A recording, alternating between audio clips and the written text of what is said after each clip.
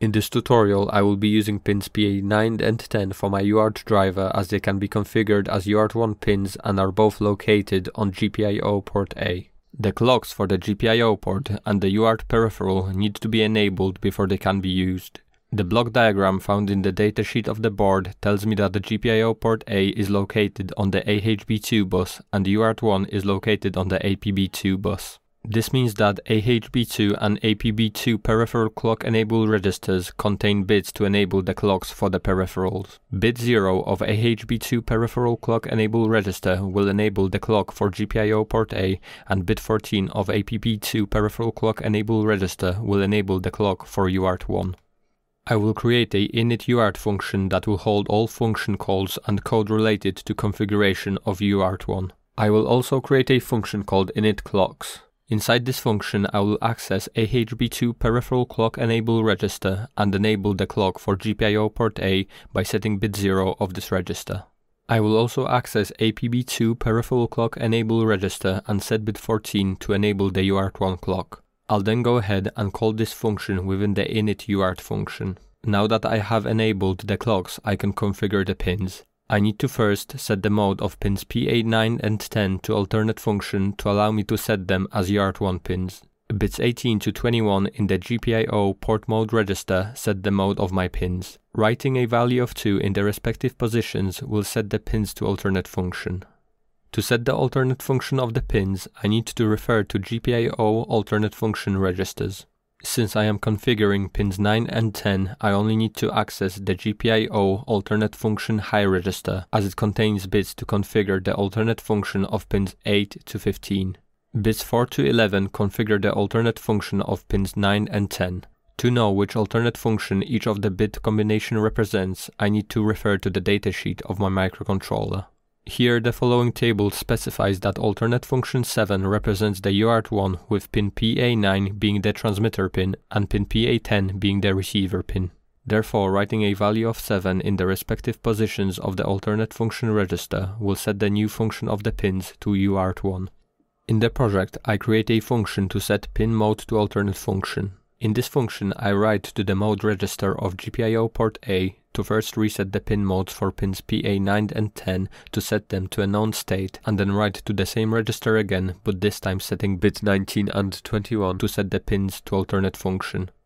To set the alternate function to UART1, I will create another function and I repeat the process by first clearing bits 4 to 11 in alternate function high register of GPIO port A to set the bits that configure pin 9 and 10 to a known state. I will then write to the register again, this time setting bits 4 to 6 for pin 9 and bits 8 to 10 for pin 10 in order to set the alternate function of those pins to UART1. To give the code some structure and keep it tidy, I will create another function that will call the two functions that configure the pins and will call this function from within the init UART function. With the pins configured, let's move on to configuring the UART itself. I will set the UART up to have one start bit and stop bit, 8 data bits, no parity bit and a baud rate of 115,200. The UART contains bits in its registers for features and modes it can be set to such as LIN and others. I will not be using interrupts, DMA or setting the UART into different modes of operation, therefore to keep things nice and concise I will only detail bits that are relevant to getting my version of UART going. Any interrupts, DMA or feature enabling bits will be set to 0 to keep them disabled. There will be some bits I will be skipping altogether as they are related to the disabled features and therefore their state is irrelevant to the operation of my version of the UART driver. So first taking a look at control register 1, the combination of bits 28 and 12 determine the number of bits that will be transmitted and received by the UART peripheral. I want the word length to be one start bit and 8 data bits, so I will set the two bits to 0. Bits 27 and 26 are interrupt related. Bit 15 determines the oversampling mode. As UART is an asynchronous protocol, oversampling is done on the receive pin and its purpose is to allow the receiver to synchronize itself to the incoming data packet in order to sample the data bits correctly. The start bit exists and precedes the data bits to allow the synchronization process to happen before the actual data is sampled. The ideal place for the receiver to sample the data would be in the middle of the transmitted data bit to ensure that the state of the bit is recorded accurately. Now how the receiver attempts to achieve this is by sampling the receive pin at a faster rate than the baud rate in order to detect the start of the start bit, which is a transition from the idle state to the active state. By convention, this is a transition from a high state to a low state. When the start bit is detected and the receiver oversamples at let's say 16 times the baud rate, it will consider the midpoint of the start bit to be 8 clock cycles later. From that point, the subsequent bits will be sampled every 16 clock cycles. Now, in reality, there are factors which will cause the sampling of the receiver to deviate from that desired center point. One of the factors is the sampling frequency itself.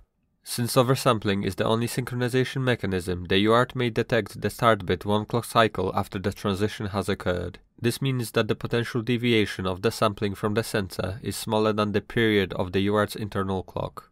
The relationship between the frequency of the sampling clock and the deviation is inversely proportional. The higher the frequency of the sampling clock, the smaller the potential deviation from the desired sampling point which is the center of the data bit.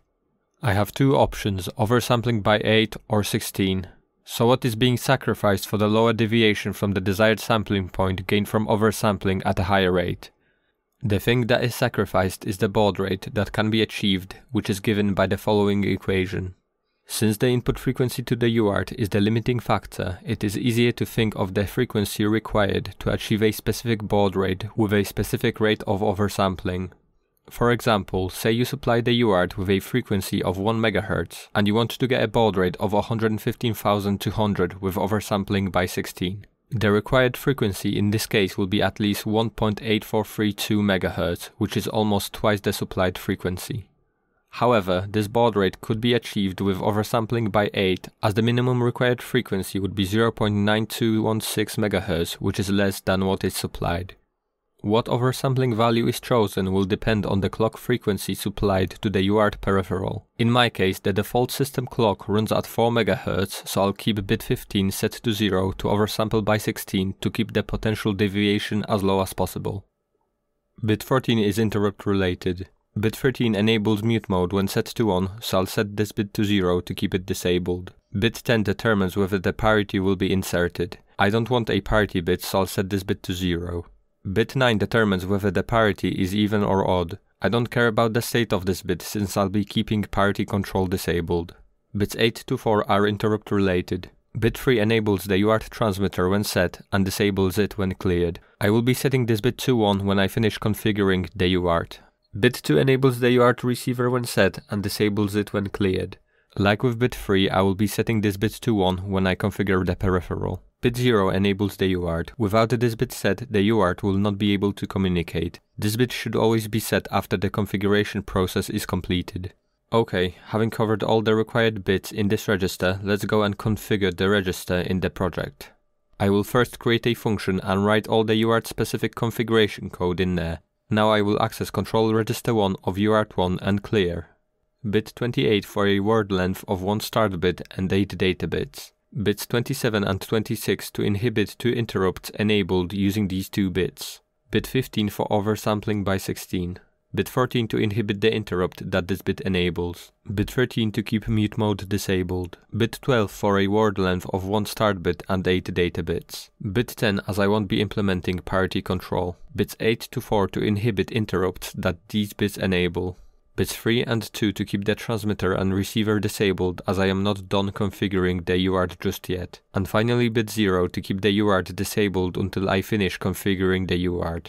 Moving on to control register 2, bit 23 enables receiver timeout which is used when reading from the smart card in block mode. I won't be doing that, so I will set this bit to 0 to keep the receiver timeout disabled. Bit 20 enables automatic baud rate detection. I will be setting baud rate manually, so I will set this bit to 0. Bit 19 determines whether the data is sent least or most significant bit first. Because UART devices usually send bits LSB first, I will set this bit to 0 to make the UART transmit and receive data LSB first to stick to the convention. Bit 18 is used in smart card mode and is therefore irrelevant.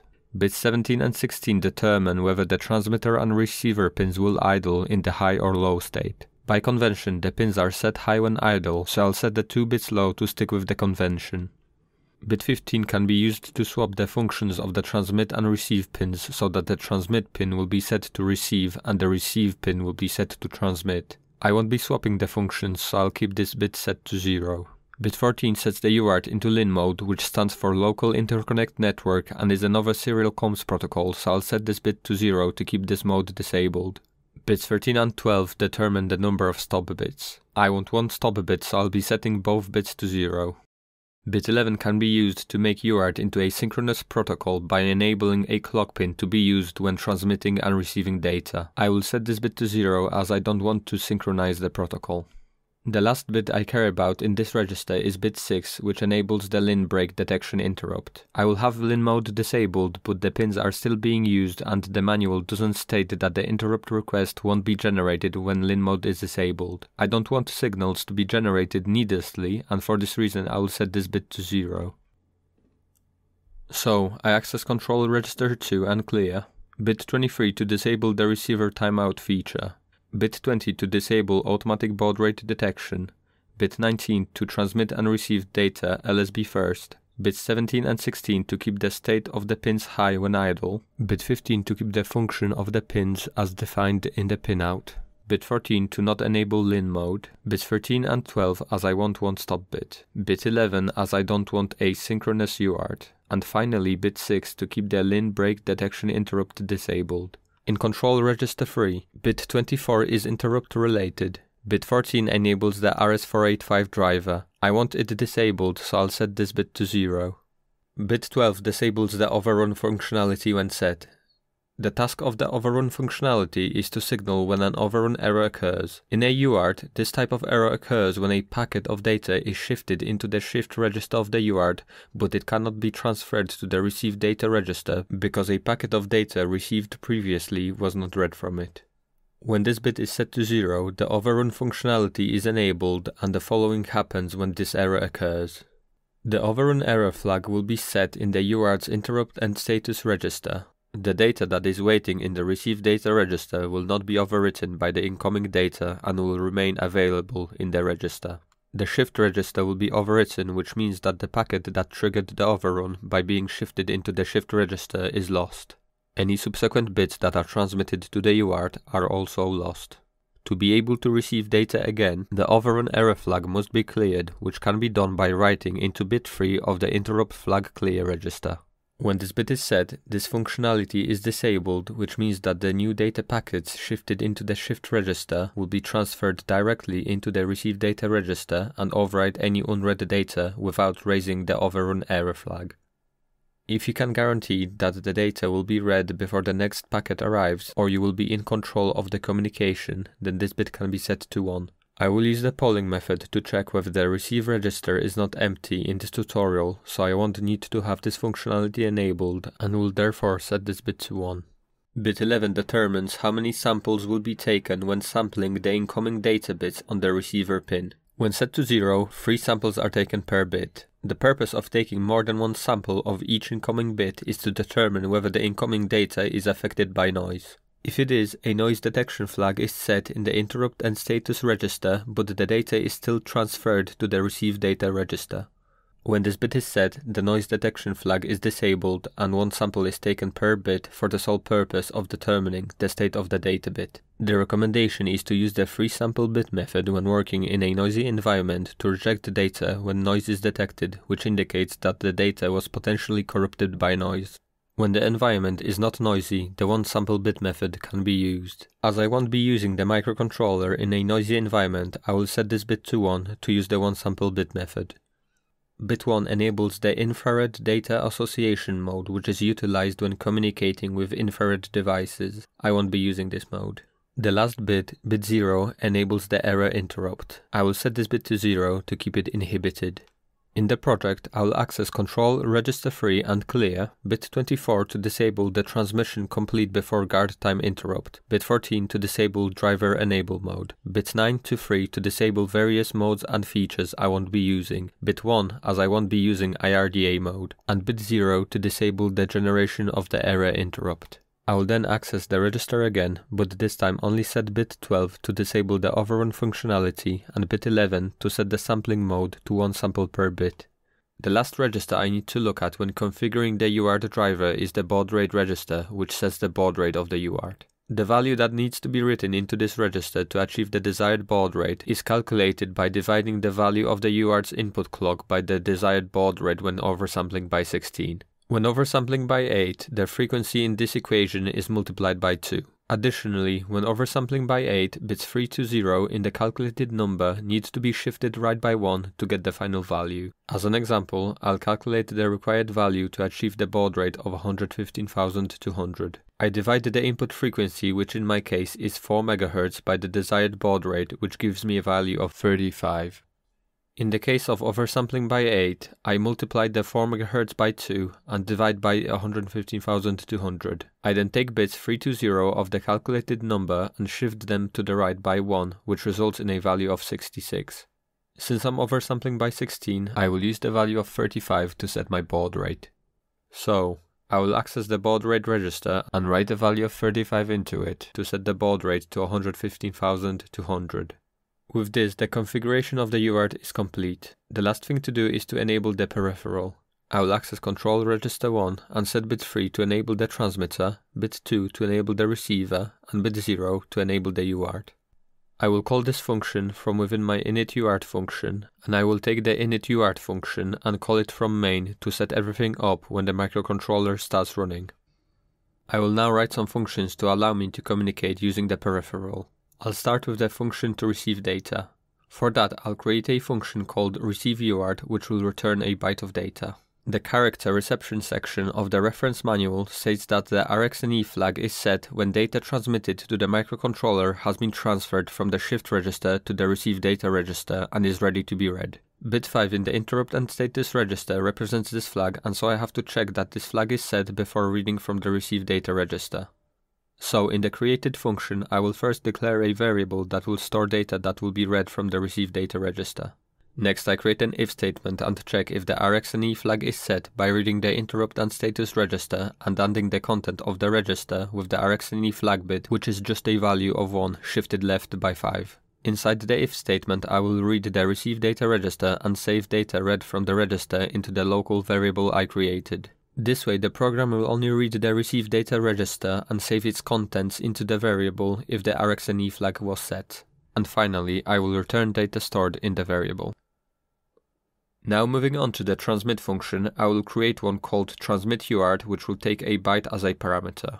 The reference manual tells me that the data to be transmitted needs to be written into the transmit data register. This action will clear the TXE flag which is located in the interrupt and status register, indicating that the register has been filled with data to be transmitted, but the data has not yet been moved from this register into the shift register for transmission.